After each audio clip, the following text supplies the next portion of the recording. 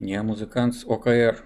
Из-за ОКР думаю, что если попытаюсь построить карьеру в музыке, случится что-то плохое. Ну, вы знаете, во-первых, ОКР отлично лечится сейчас. Да. Причем, ну, полностью это можно все нивелировать. Не разговорами с психологом, то есть разговоры с психологом это как дополнение к лечению. А во-вторых, ну, действительно, карьеру в музыке построить очень сложно. Ну, смотря еще какая карьера. Можно быть музыкантом а-ля Сопор Этернус, конечно. Ну... Я думаю, там не только УКР. Там много чего еще. Есть, например, там очень ну, успешные такие в, в своих кругах музыканты, эти, например, Septic Flash. Да. Но при этом они работают в Греции, где в банке. Ну да, у них обычная работа. Ну да, то есть как бы карьера в музыке есть, о них знают, у них бывают всякие разные туры европейские, да, наверное. И мировые тоже. И мировые. Они выступают с симфоническими оркестрами, то есть это очень серьезный уровень, но при этом это не то, что их кормит, и им приходится ходить на обычную работу.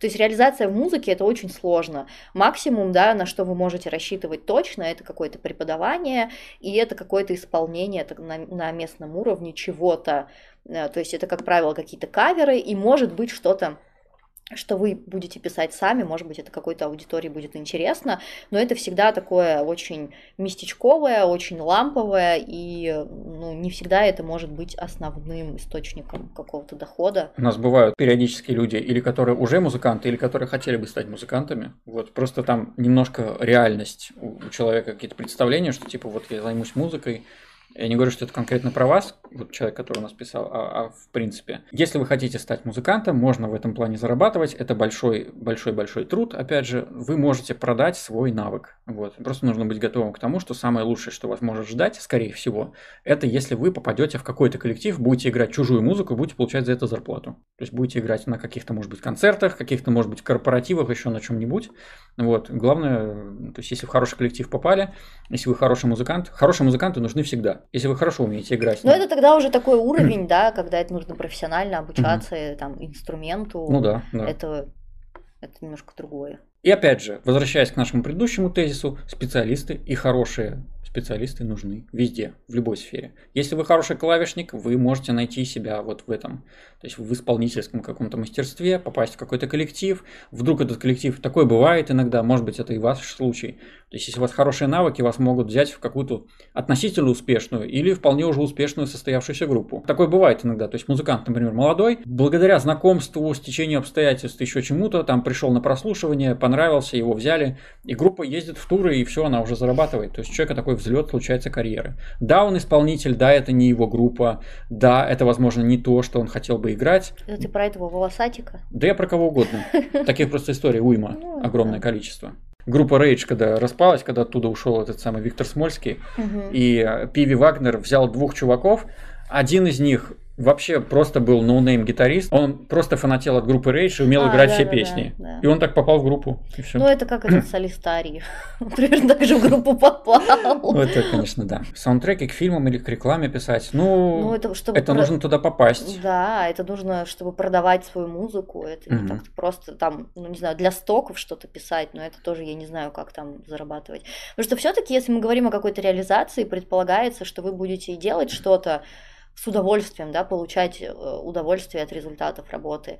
И это будет достойно оплачиваться, потому что если что-то из этого выпадает, да, удовольствие или оплата, очень часто ну, это приводит к выгоранию. Мы такого тоже очень много видели, когда человек делает то, что ему нравится, и, и он чувствует в этом реализации, но нет какой-то отдачи финансовой, хотя бы минимально достаточной, да, и все уже этим сложно заниматься, потому что да, круто, да, ты туда вкладываешь много всего, но не получаешь в итоге ничего или почти ничего. Поэтому это такая вот тема непростая. Чтобы быть успешным в музыке, надо быть коммуникабельным и уметь в самопродвижении. Безусловно. Это не только в музыке помогает. И еще уметь работать, потому что я знаю случаи, когда там, например, э, на человека, который занимается музыкой, пишет свою музыку, выходит продюсер Земфиры, но человек просто не хочет работать, и ничего не происходит, понимаете? Да. Хотя продюсер Земфира, он уже пришел и сказал, привет, давай работать. И иногда даже предпочтут человека, который просто надежный, да который вот в любом состоянии может это вот все-таки пойти и работать, на которого можно положиться. Ну, вообще это в любой реализации важно делать хотя бы просто нормально, да, и быть последовательным и выполнять обязательства, которые вы на себя взяли. Просто вот эти три простые штучки в любой вообще теме, и у вас все будет хорошо. Ходить работать на дядю тоже происходит выгорание. Смотря какой дядя, можно всю жизнь с ним проработать да. и прекрасно себя чувствовать. И многим людям, наоборот, даже показано работать на дядю. Просто нужно, людей. нужно соблюдать определенные да, фишки, и тогда работа на дядю будет вообще прекрасная, замечательная. Там тоже есть свои. Большинству людей не дано работать, работаю на себя, потому что там доля предпринимателей 5-10% это у нас в стране. И в Штатах, по-моему, процентов 30. Ну и опять же, это не для всех людей. Большинство людей должны быть наемными сотрудниками, иначе если у нас все будут предприниматели, все будут руководители, кем же они будут руководить тогда? Так что, если вам не нравится работать на конкретного дядю, нужно просто работать на другого дядю. Вот, не, ну, обязательно, да. не обязательно, что вам прямой путь быть там самозанятым или еще что-нибудь такое. Есениным что делать? Работать. Работать, работать. Вот. А, а вам перетипироваться. Да. Начните с этого. Там еще спрашивали, как приучить себя там к дисциплине и прочее.